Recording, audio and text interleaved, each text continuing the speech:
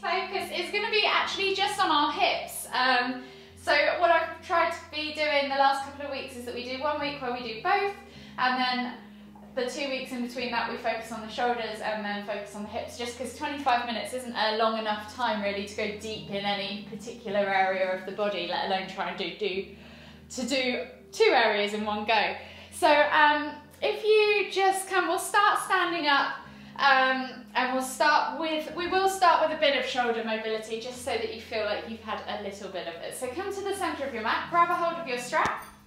Um, you can do just arm circles if you don't have a strap at home. And we're going to take a hold of the strap at one end and then find a wide-ish kind of grip at the other end. Standing with your feet just slightly wider maybe than hip distance apart, you're just going to inhale as you lift that strap all the way up and over, tap it behind you, exhale and then come all the way back through, tap it in front. We're going to do 10 of those just to start. Just opening up the shoulders and the chest.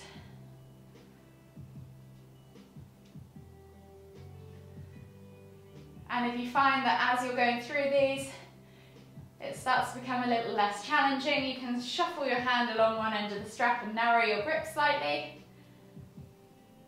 This is always quite a good one to do if you're sat at the desk all day, or you do a lot of overhead stuff, or you're just generally hunched. It opens up the chest, the thoracic spine, it gets the shoulders moving, improves your range of motion, relieves any aches and pains. We'll go for one more each way. So last one. And then you can just release your hands from the strap and find yourself in Uttanasana forward fold. So think about hinging at the hips, finding that length first, and then bending the knees, drawing the chest over the thighs, crown of the head towards the floor, opposite hand to opposite elbow, and you can just gently rock from side to side, bounce up and down, whatever you need to do to just get into the hips, the glutes, and the lower back. Take a couple of deep breaths.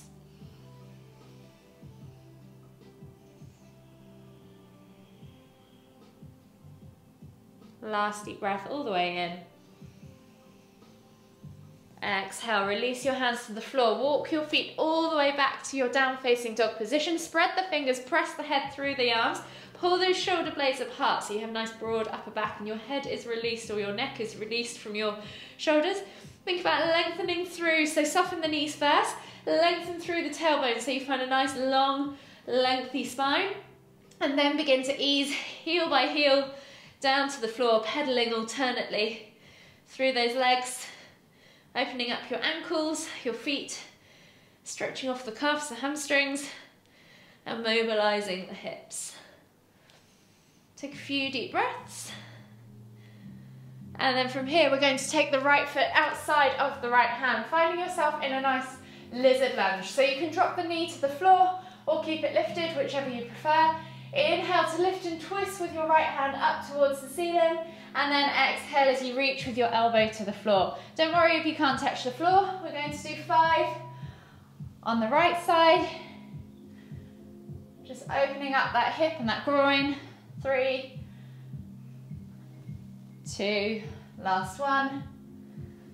One, step back to that down facing dog position and then switch sides. So left foot comes forwards, knee lifted or on the floor, yogi's choice. Inhale to lift and twist. Exhale, elbow to the floor, tap, lift to open. So exhale to tap, inhale to lift. Three, four, last one. Five, replace the hand, step back to down facing dog. Walk the hands all the way to the back of the mat. Find your Uttanasana forward fold once more. Heel toe your feet out to the edges of the mat. Find your squat stance. Inhale as you lift all the way up, Extend extended Tadasana, palms together at the top. And then exhale as you come down into that garland pose. So think about having a nice upright torso here first. Then think about heels to the floor and your squat depth. You can just take a moment there to bounce it out Open up that groin, open up your hips. Take a few deep breaths. And then left hand to the floor, inhale to lift and twist. Exhale, release, and then right hand to the floor, inhale to lift and twist. Exhale, release. Plant the hands on the floor, heel toe the feet back underneath the hips, find your Uttanasana forward fold. Walk the hands all the way to the front of the mat. And then we'll come down all the way to the floor. And then inhale as you press up to Cobra. Just open up the front body. You can rock from side to side. Draw a figure of eight with your shoulders and hips.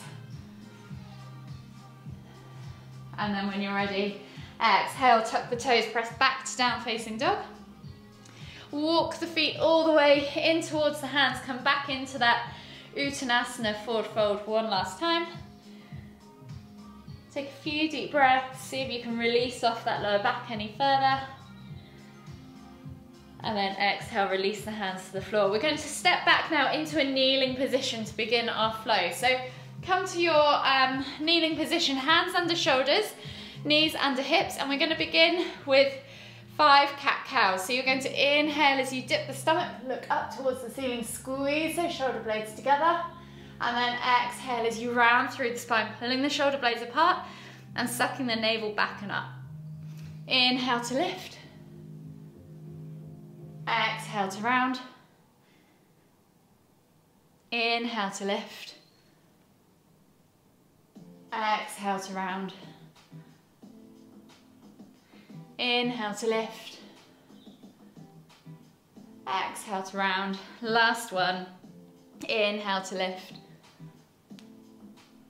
Exhale to round. From here, you're just going to take your left foot outside of your left hand. So we're kind of in this narrow kneeling stance. Think about setting yourself up with that knee above the ankle and finding that kind of stretch in the back of the, the thigh in the, in the hamstring there and maybe even into your hip. From here, you're going to take your hand palm facing up, inhale as you reach forwards, and then exhale as you sweep all the way over to the right. Inhale back to center, exhale to sweep over to the right. So we're going to do three more of those.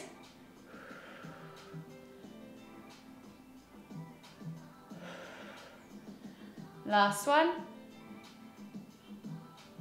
replace the hand and then come back to that hands under um, knees, sorry, that kneeling position and switch sides. So right foot comes forwards again, not too far forwards like a normal lunge, um, but finding that vertical shin, finding that stretch in the back of that hamstring. So really focus on sinking into the groin, but pulling the hip back slightly as well so you can feel it. And then again, palm facing up with that right hand, inhale to reach forwards, Exhale as you sweep over to the left. So you should feel this in your kind of waist, in your hips, in your lower kind of side area. Three, four, last one, five. Return back to center and then make your way to a wide leg position. So on your mat, Take the feet out as wide as you can, long ways on your mat, short edges of the mat against long edges of the feet. Find that nice position. Think about pressing through all four corners of the feet. So don't go so wide that you're kind of turning in on your ankles. Think about rolling those outer edges down. Think about lengthening through the crown of the head and then inhale as you lift the arms up above the head. Exhale as you hinge at the hips, coming all the way down into that wide leg forward fold. Hands come to the floor. Think about sending your tailbone high towards the sky, crown of the head towards the floor, and just take three deep breaths.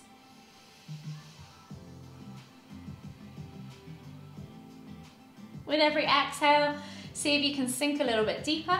Get the crown of your head maybe a little bit closer to the floor. Last deep breath all the way in. Exhale. And then walk the hands all the way over to the left foot and you're gonna come down into your ninja squat. So if you want to, you can just slide all the way over or you can come up, over and down, whatever you prefer. With your ninja squat, you're gonna try and sink over that left heel, keeping it to the floor. And then if you want to, you can flex that right foot back up towards you or you can try and roll the outer edge over onto the ground to really work into the ankles and the feet as well. From here, reach with your nose towards your toes and then fingers, if you can, around that big toe. Take a nice deep breath all the way in. You should feel a big stretch on your inner thigh. Exhale, one deep breath all the way in. Exhale, walk the hands all the way to the front of the mat or frame that left foot basically. Um, so hopefully that's the front of your mat. and come into a nice low lunge. So dropping that back knee to the floor, reaching forwards with the heart. So really think about extending and sending that heart forwards and finding that stretch in that right hip flexor. Take a nice deep breath in as you roll those shoulders back and down. Two more deep breaths. Last deep breath all the way in. Exhale, plant the hands on the floor, and as we exhale again, sorry, inhale to lift the knee off the floor, and then exhale as you swing that leg all the way back into down facing dog. So we're coming into a three leg down facing dog, swinging the left leg back and up, and bending at the knee. Just take a small hip twist, you can play with it. Open up that side body, open up the hip, see how far mobility allows you to go and then we're going to swing that leg back through and under, coming into pigeon pose. So sliding the left leg forwards, bringing it forwards at a 45 degree angle, bending at the knee, sliding the right leg back, finding a nice level hip position. So if you need to, you can always support that left bum cheek with a block or pillow, but your aim here is to keep your hips nice and level, sit bone to floor, hip bone to heel, press into the ground with your hands, lift up and out of your pelvis as you find that stretch in the left, or sorry, the right hip flexor. Take a nice deep breath all the way in. And as you exhale, melt forwards over that left leg and take three deep breaths.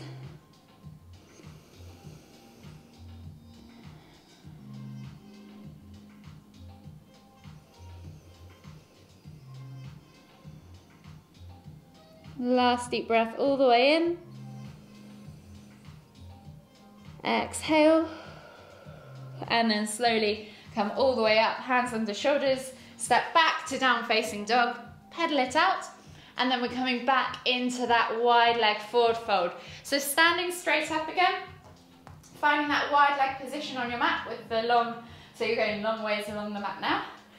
Feet are pressing down again firmly into the ground, so that same setup with the feet. You're going to inhale to find that length and then exhale as you hinge forwards. But this time with the hands, instead of placing them in the middle, we're gonna take them out to the toes. So hooking your two fingers around your big toes, you're then gonna use that as your pull to pull you down deeper into this position. If you can't reach your toes, don't worry, just pull from the outside, grab your calves, your thighs, pull yourself down that way, wherever you need to go.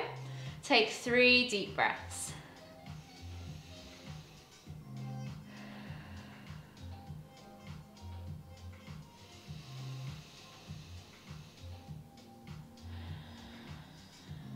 Last deep breath all the way in. Exhale. And then we're coming back into that ninja squat now on the other side. So walking the hands over or lifting up and over as you come into that ninja squat. Sitting over that right leg this time and reaching with your nose towards your toes for that left um, foot.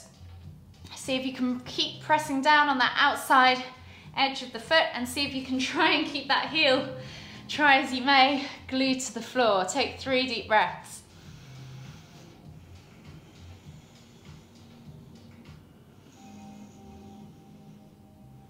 Last deep breath all the way in. Exhale, walk the hands all the way to the right foot now, coming into your low lunge position.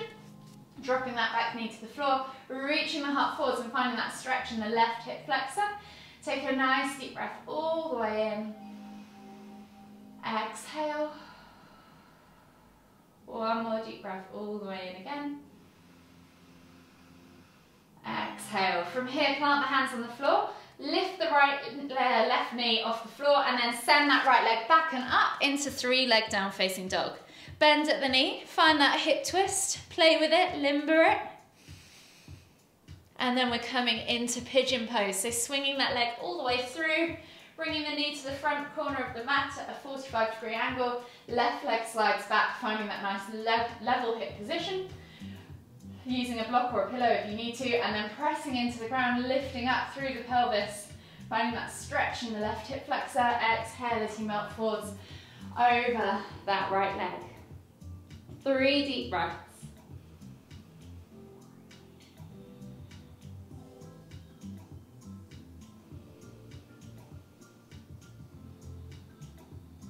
Last deep breath all the way in. Exhale. And then slowly bring yourself all the way back up. Step back to down facing dog. I'm going to twizzle back around the other way. And then we're going to come into our balance section. So stepping through with your left foot into a low lunge position, finding yourself set up. And when you're ready, inhale to lift that back knee off the floor. Brace yourself and we're going to shoot into warrior three. So you're going to inhale to lift, finding your balance through that standing leg, coming into that warrior three position. So your body is parallel to the floor and you're balancing on one leg. Hold for three, two, one. Then we're gonna bring palms together, hands to heart, lift all the way up, try and keep that leg off the floor and swing that ankle over that left knee and sit back into crouching tiger pose. Find something steady to focus on to help your balance. Take three, two, one. And then from here, you're gonna try and go into half moon. So you're going to lift up, all the way up, and then twizzle out to the side, opening up into that twinkle, twinkle, little star position. Hold for three, two, one, and then inhale as you come all the way up around that right foot. Sit back as you exhale into chair pose. Hold for three, two, one. Exhale, release. We're gonna step back into that high lunge with the right foot forwards this time and repeat on the other side. So reaching the heart forwards, take a nice deep breath all the way in. Exhale, and then when you're ready, inhale to lift and shoot. Warrior three on the right side. Hold for three, two, one. Then palms together, hands to heart. Left ankle comes over right knee, sit back into your crouching tiger. Hold for three, two, one. Inhale to lift. Exhale as you open and lower into that twinkle twinkle half moon star pose. Hold for three, two, one, and then last one, come all the way up and through. Ground that left foot and sit back into chair. Hold for three, two, one. Inhale to lift, exhale to fold. As we make our way all the way down to the floor again, coming into your Uttanasana uh, forward fold. Take a nice deep breath in. Exhale, fold deeper, and then slowly walk your feet all the way to the back of the mat. Coming into down facing dog, pedal out the feet, and then we're gonna come down into our kneeling position on the mat and finding, um, oh sorry, I've missed, missed one out. So we're gonna come into crescent lunge as a progression. We've just opened you all up for crescent lunge. So coming into crescent lunge, take a moment there in a kneeling position while I demonstrate. You're gonna take your left foot forwards and then you're going to drop your back knee to the floor. So you're in this nice low lunge position. You're going to inhale as you lift your hands up above the head, interlace the fingers and create a Charlie's angel finger. So shoot the hands up. As you exhale, see if you can lift through the heart and send the hips forwards as you come back into a back bend. Take it as far as you need to go and then inhale to come all the way back up. So all together now, we'll set ourselves up in that nice low lunge position. With the left foot forwards, right knee to the floor. Inhale to lift. Reaching up high with the hands, find those Charlie, Charlie's Angels fingers. Reach up tall, think about lifting through that heart first. Finding space in the pelvis and then exhaling as you shoot back. Inhale to lift back up. Exhale, release the hands to the floor. Step back to down facing dog and then we're going to repeat on the other side. So right foot comes through. Left knee goes to the floor, finding that low lunge position. Remember, if you need to, take a slightly wider stance to help steady your balance. And then inhale to lift, reaching up tall, finding that space in that pelvis area. Charlie's Angels fingers, and then inhale to lift, exhale as you fold back. Inhale to lift again, exhale to release, and then we'll step back to down facing dog, pedal out the feet, and then come down onto your knees. Take your knees out slightly wider, feet together at the back, and sit back for a wide leg child pose variation. Forehead to the floor, take a nice deep breath all the way in. Exhale, two more deep breaths just like that. Exhale. Last deep breath all the way in. Exhale. And then slowly come all the way up onto your hands and knees. Swivel your legs around and come into a seated position. So we're going to come into mariachi pose. So taking the left leg out long, bringing that right foot in towards that right heel. Your option here is to just simply hug that knee into the chest if mobility doesn't allow you to go any further, focusing on keeping that left leg straight and toes flexed back towards you.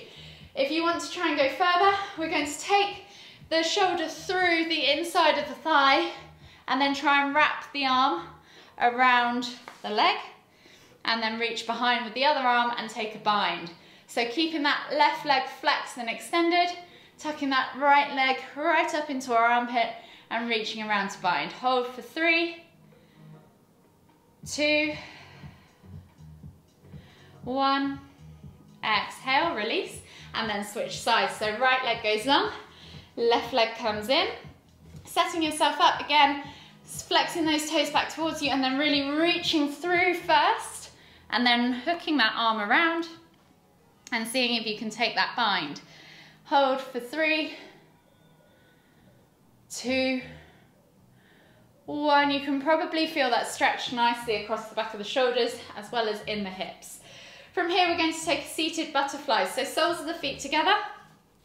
Hold them like you would hold a book. So thumbs on the insides of your arches. Shuffle your um, in towards the heels. So bring the heels in towards your groin and just let your knees kind of pulse out to the side for a few moments. You can then use your elbows on your calves or your inner thighs to press the knees down as you inhale to lift and lengthen, exhale to fold, reaching nose for your toes. And we're just going to stay here for three deep breaths. Breathing in through the nose and out through the mouth.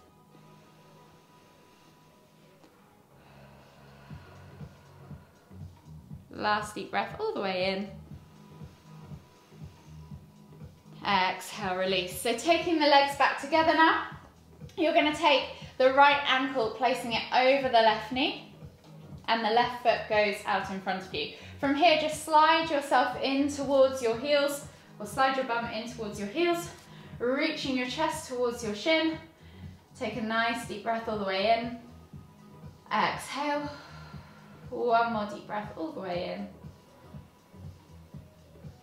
Exhale. Slowly unravel yourself and switch sides. So left leg goes over right, crossing at the ankle over the knee, sliding yourself in, shin to chest, reaching up high, and again, two or three deep breaths here.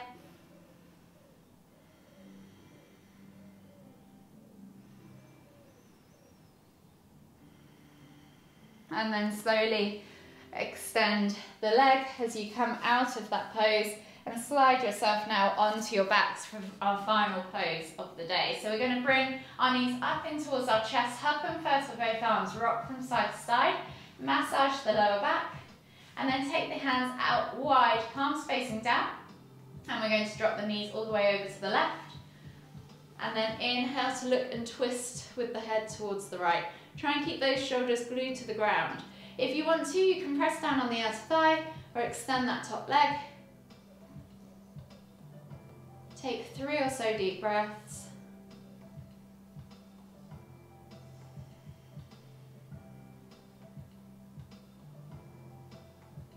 Last deep breath all the way in. Exhale. And then inhale as you lift your knees and head back to center. Exhale as you drop your knees all the way over to the right. Inhale as you lift and twist your head towards the left. Again, you can press down on that outer thigh or extend that top leg, yogi's choice. Just make sure those shoulders remain glued to the floor and take three or so deep breaths.